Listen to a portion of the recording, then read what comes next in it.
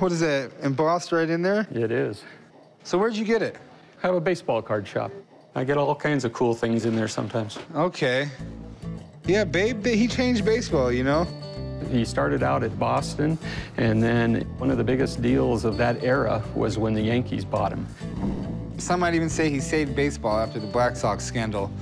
You know, where the Chicago White Sox were allegedly paid to lose the World Series. And everybody loved the guy. Kids loved him. Everybody but Boston fans. Everybody but Boston fans. Yes, you're right. It's in really good condition. I mean, all the stitching is still intact. I don't see any cracks on it. You mind asking how much you paid for it? Um, yeah. I do. I guess what's really important to me is how much are you looking to get?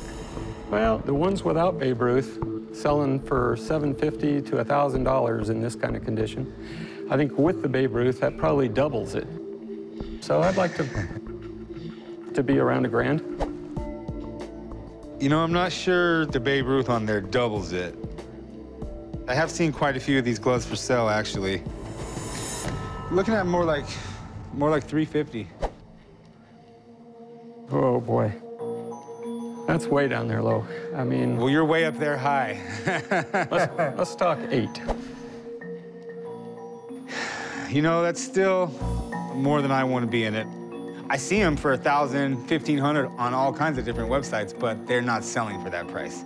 I see these sell for six to $700. So, I mean, I could come up a little bit, maybe go 400. I mean, I'd love to have it in my shop. It's a great glove.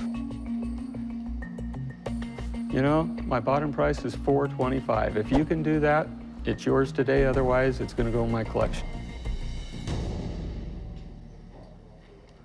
Sold. Sweet.